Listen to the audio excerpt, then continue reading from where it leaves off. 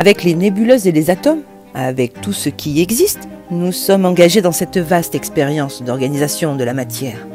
Loin d'être étrangers à l'univers, nous nous insérons dans une aventure qui se poursuit sur des distances de milliards d'années-lumière. Nous sommes les enfants d'un cosmos qui nous a donné naissance après une grossesse de 15 milliards d'années. Comme dans la tradition hindouiste, les pierres et les étoiles sont nos sœurs.